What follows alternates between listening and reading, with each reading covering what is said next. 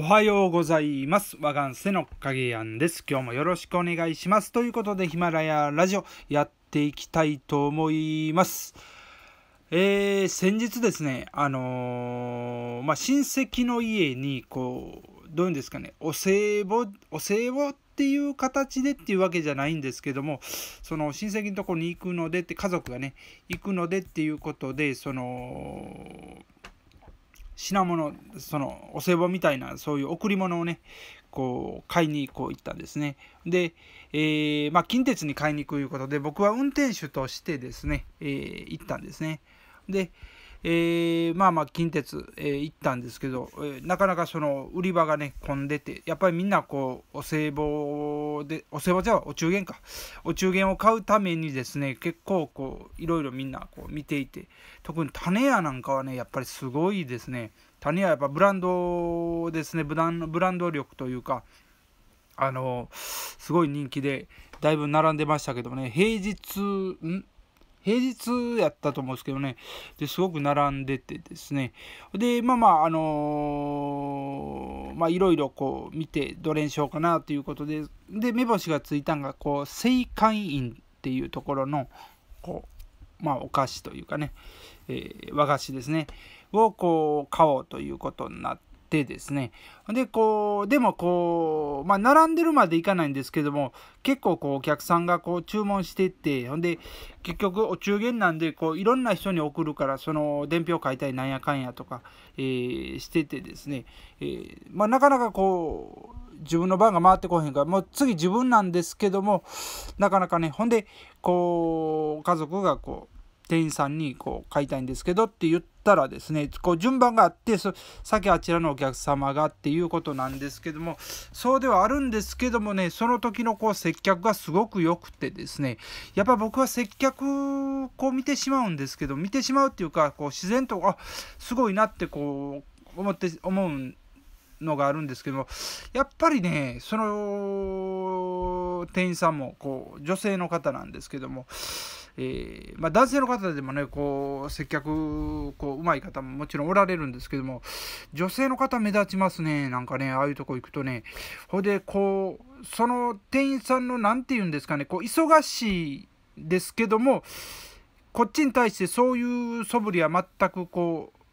見せない。どっかでこう焦ってるとかそういうところは全く見せずにですねこう丁寧にこう対応していただける。よですね。ほんでそのままちょっとこう、まあ、ベテランというかね、えーそんなに年変わらないかもしれないんですけど、まあ、ベテランのこう店員さんでこう、えーこう的確な接客それとこうまあ心地いい感じやったんです。ほんでその方がこうちょっとこう違うところに行って違う店員さんがこう来られてちょっとその方はちょっと若めの方やったんですけどもでその方がえ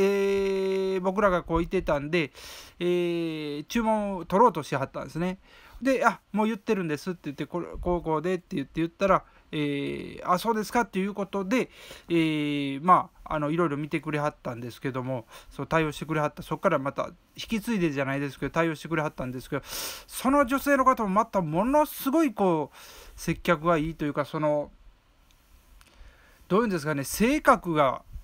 もともといいんだろうなって思えるような思わせてくれるようなこう接客態度。だからそのお客さんの前だけそういう接客、えーテクニックがあって接客がこう、えーいいという感じではなくてですね多分その芯のところいうかまあ心からそういう接客ができる。だから他の例えば友達であったりこう友達じゃなくてもですねその対応がこうすごくこう柔らかい感じのその感じがあるんだろうなってこう思わせるようなこう接客。まあちょっとした接客でそこまで考える人いないかもしれないんですけど僕はそういうふうにこう見ましたね。だから、えー心からこう出てる接客っていうのはやっぱりこう例えばこう相手見てこう変えてくるとかそういうことではなくてですね、えーもともとその友達家族その辺でもこう同じようなこう、えー感じでこうどういうんですかねこう柔らかいというかね柔らかい空気感みたいなものをこう持っておられるなと思って。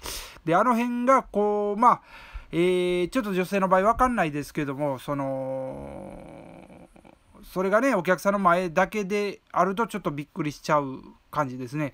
裏表がむっちゃあったりするとむちゃくちゃ怖く怖いというかそのええー、と思ってしまうんですけどもあのやっぱり、うん、その辺やっぱ優れてるなと思ったと、うん、やっぱりそのそういうところでこう言ったらお菓子と言っても和菓子とか言ってもそのお中元とかお歳暮で送る送るようなものを売っておられるとこっていうのはやっぱちょっと高めにはなりますよね商品としては。えー、もちろんねそそのそこまで高くないのもあるんですけどもちょっと高めになるんでですねその辺の接客はやっぱりこう、えー、いいものでないとなかなかこうリピートもされにくいでしょうしそのお中元お歳暮の品物をこうリピートするっていうものなんかどうかっていうのはちょっとよくわからないですけどもそのまあ種屋とかやったらやっぱみんなこうリピートする人多いでしょうしで種屋じゃなくてもここいいなって思うのにこう商品がいいなって言ってもう商品なんかは基本的に多分いいと思うんですよね。ああいうとこで売ってる商品絶対。ほんで他にも美味しそうなんで1個800円ぐらいするようなであのゼリーみたいなねそんなんもありましたしね。だからそんなん売ってるところのね接客がもし悪ければですねその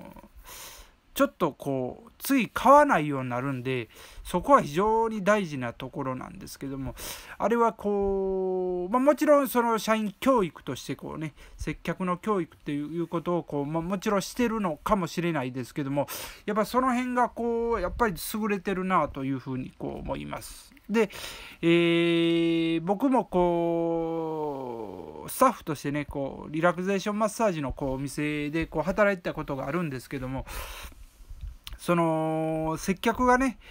こううまい感じの人っていうのはやっぱりこうどう言ったらいいんかな。もともとそれなりのこう、